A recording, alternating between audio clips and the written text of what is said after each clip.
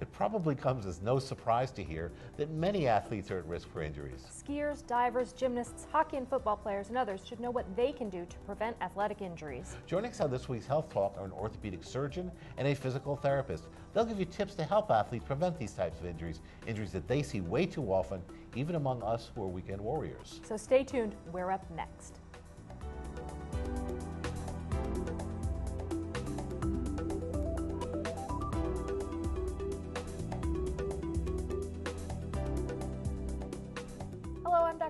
Peterson. And I'm Dr. Eric Mazer. Today we're going to discuss the prevention of athletic injuries with Dr. Robert Brady and Stephen Irwin. Uh, Dr. Brady is an orthopedic surgeon with Norwalk Hospital, and Stephen Irwin is a senior physical therapist with Norwalk Hospital's outpatient rehabilitation services. Oh, thank you so much, both of you, for joining us. Great us to have on the you show. on the show. This is something, you know, eh, most people participate in athletics or their kids participate in athletics and you see the consequences. And it's important to do so. Exactly. We We, want don't people we to be want people to participate in athletics. But we want people to be active in a healthy way. Sure, absolutely. So how, how, how do we go about doing it safely? They, uh, you know, I, first thing is that this is my favorite type of season, the fall season, because one, the weather is phenomenal. Um, two, my, my kids are back to school, and then three is with the sports, especially you know football and you know, playoff baseball, and uh, so I think it's a great time for sports. You start, you, you know, people are really starting to come out again, uh, and in particular the high school sports. I think it's a great season for that, and so this is really uh, this keeps our season. This is our season for orthopedic surgeons when we're busier too, because we start to see the real uh, in, incept of uh, increase in, in, in our sports. So, so Steve, uh, what with kids doing so much, and they, I should say, I think there's the the frequency of competitive sports has gone way way up, and I've also heard a lot about the specialization of athletes starting at very young ages, so that they're competing at much higher levels. Uh, what should they be doing to prevent injuries? These are growing kids. Uh, there's a lot of stuff in uh, the public media about football injuries, particularly. We'll- we'll get to concussions a little bit. But, but what should we be doing to prevent injuries? Well, kind of one thing that you mentioned was we start specializing in sports almost too early. When I grew up, you know, you played baseball, you played football, you played soccer. Every Or when I grew up, you its- tried to play football. Exactly, exactly. But each season had its own sport. But now kids are, you know, they're playing football, they're training for football when they're not playing football. So you get you lose some of that cross training aspect of it, and that's an important aspect because you're training different muscles for different sports, rather than just focusing on one specific muscle group or kind of one specific sport. So what should we do? Should we get kids then? Should we get the coaches to make sure they're doing some exercises that is not sports specific if they're in one of these tracks? Yeah, I've been amazed with, you know, kids, little kids.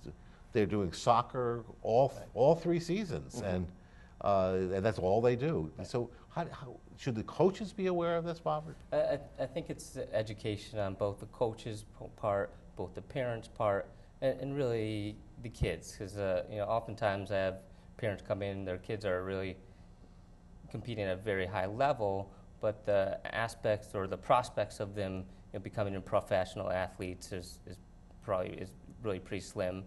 Uh, I still think you know I still encourage them to be as competitive as they want to be. Uh, sometimes we may push our kids a little bit too much. Uh, I think we're particularly competitive in this area because a lot of the kids are are, are not only want to be professional athletes, but they want to increase their college admission. So they're trying to get to uh, a level of school and com- competitiveness to, to, to get them into better schools, which I think is good. You just have to do it in, in the right manner. And I completely agree with Steve as you know the cross training aspects of it, making sure that if you are even if you are very competitive at one sport, you do some other uh, some other sport, some other exercise to train other muscles, because that's when you start to see the repetitive stress injuries when you're just using one muscle or certain muscles all the time. So maybe you can tell us a little bit, what are some of the most common injuries that, that you see?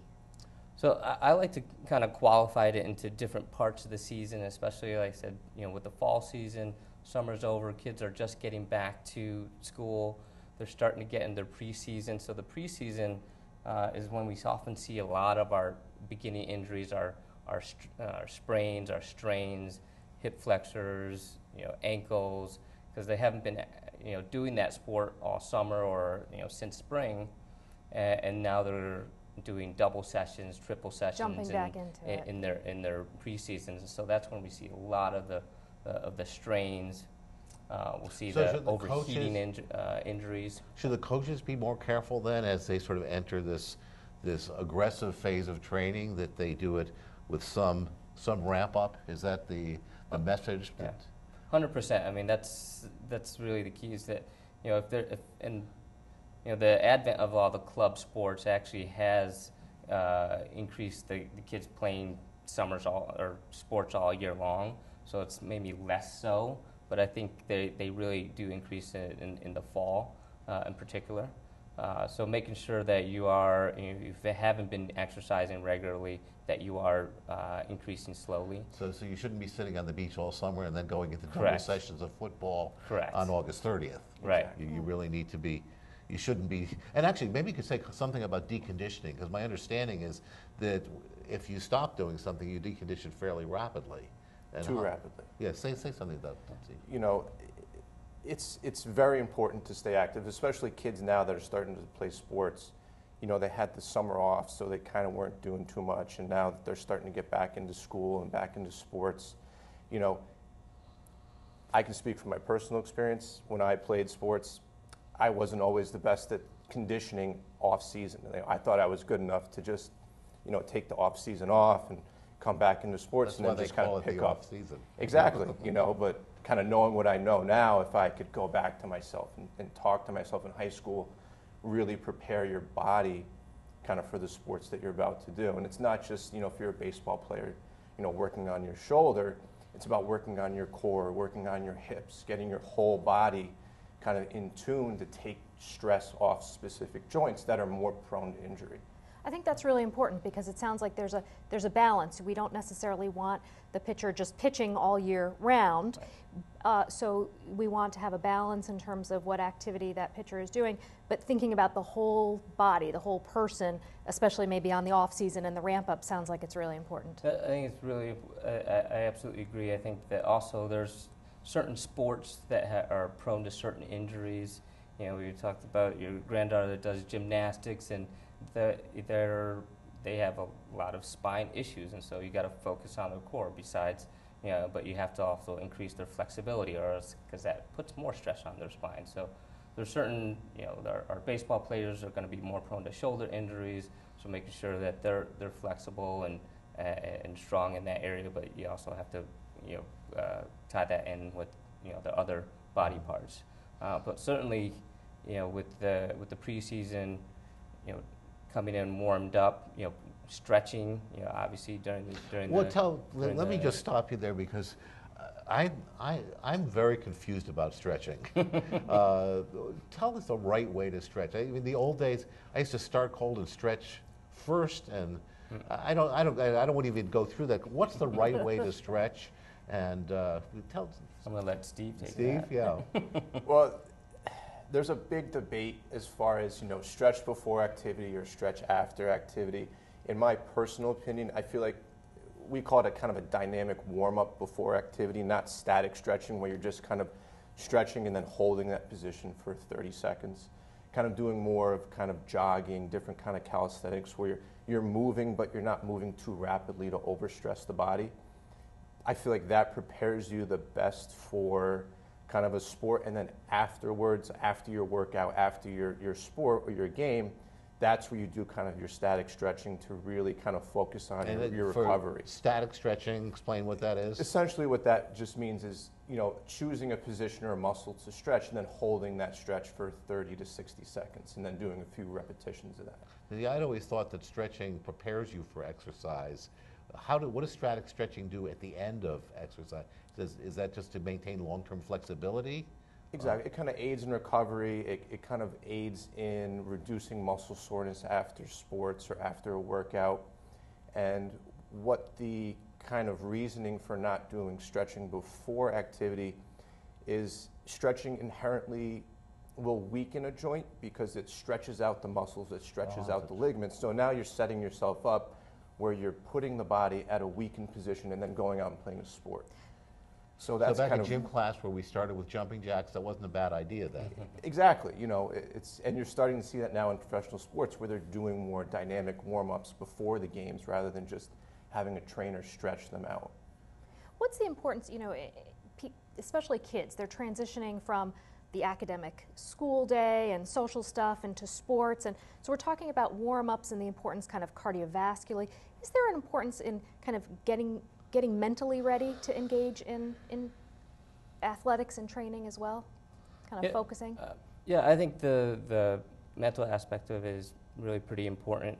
You know how you kind of shut off between you know you know your academics and, and athletics.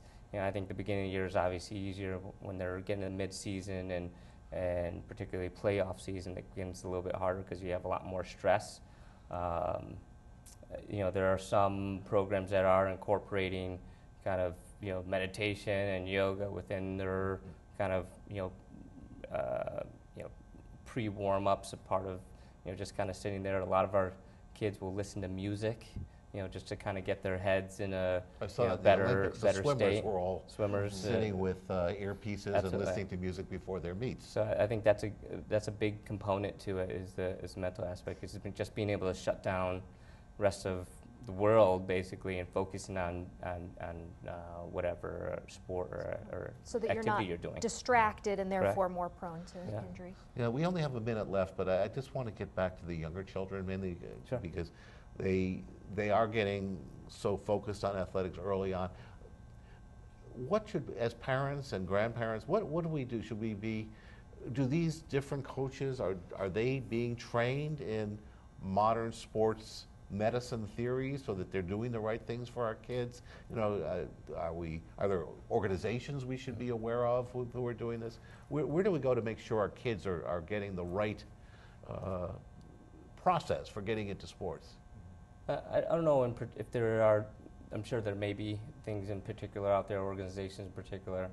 Uh, I think that if you have a kid is who's an athlete and wants to be an athlete and wants to be competitive, you, you, you certainly shouldn't discourage it.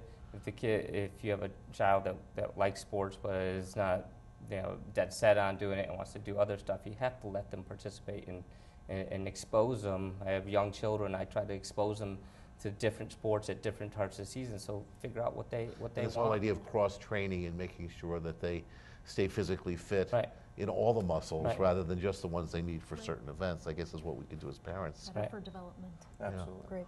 Well, Thank Thank you that's a really so important much. discussion. We're certainly, uh, we didn't get a chance to talk too much about the details of some of those, but we, we'll get to that at another time. This was really helpful discussion. Thank you so much. So all the time we have, I want to thank both of our guests today, Dr. Robert Brady and uh, Steve Irwin for coming on the show and giving us all very valuable advice.